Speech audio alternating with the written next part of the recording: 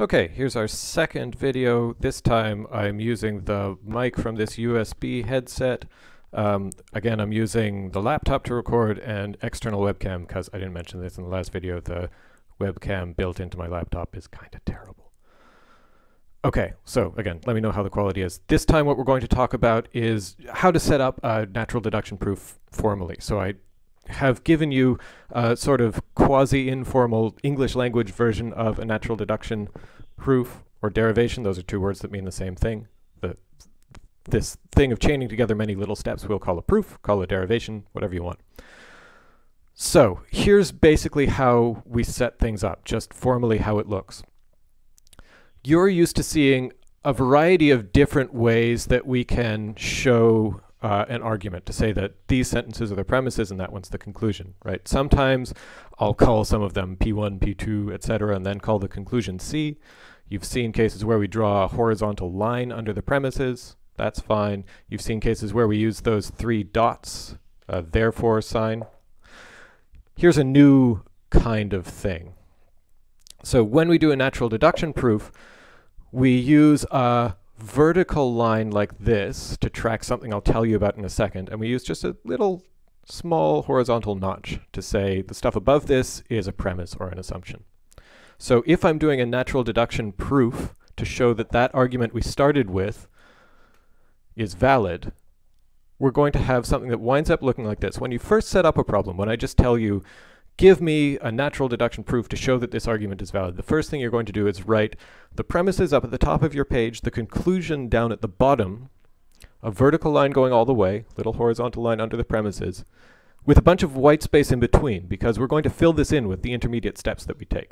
We're going to say, here's how we get from there down to there. Now, every line that comes along here is going to be something that we get by applying one of those dozen or so rules I told you about last time. So each time we write down a new conclusion that we can get from this stuff that came before, I'll write off to the side, to the right of it, I will say, here's the name of the rule I'm using. And here are the previous sentences I'm looking at that I'm applying the rule to.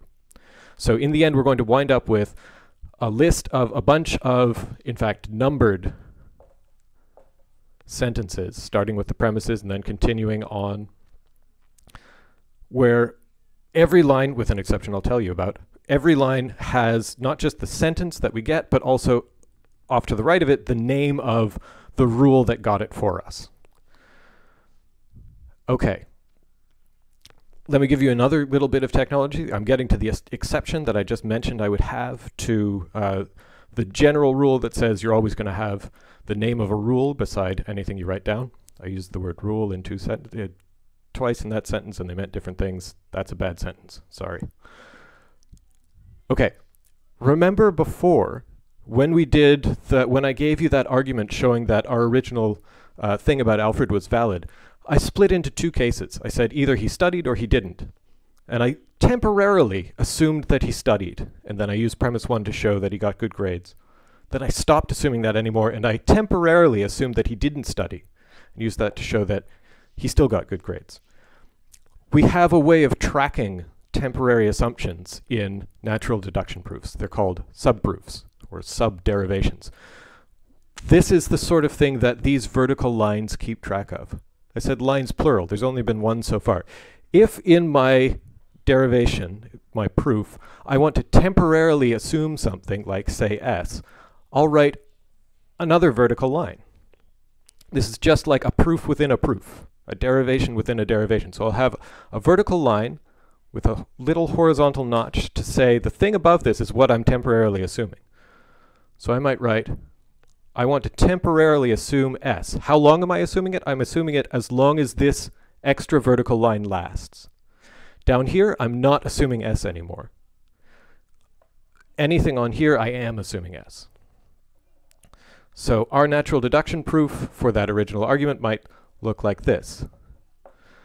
I assumed S, and I show that G is true in that case.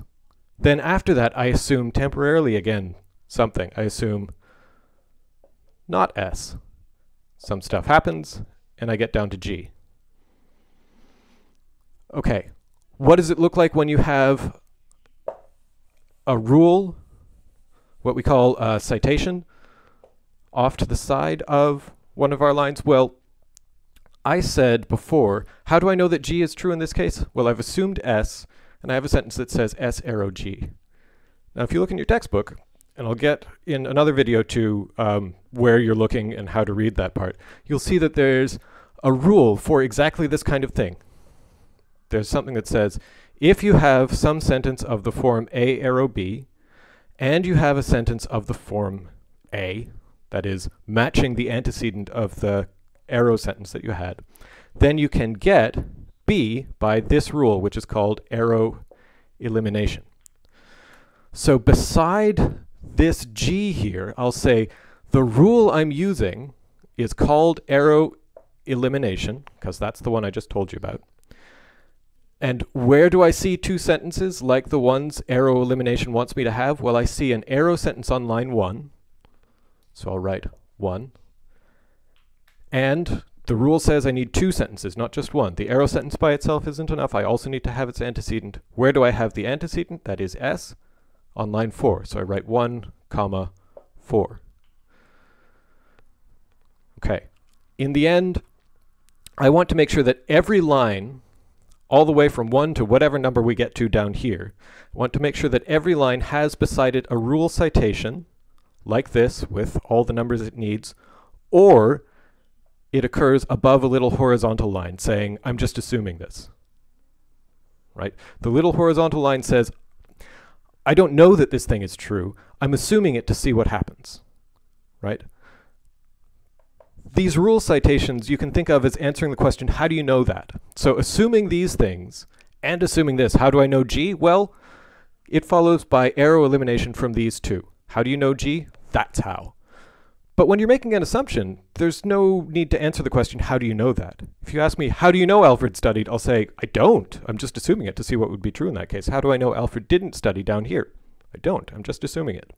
So this is how you can tell when you're done every line, every single line needs to have either a horizontal little notch underneath saying this is just an assumption, or it needs to answer the question, how do you know? And the way we answer that is by naming a rule and naming the lines it applies to.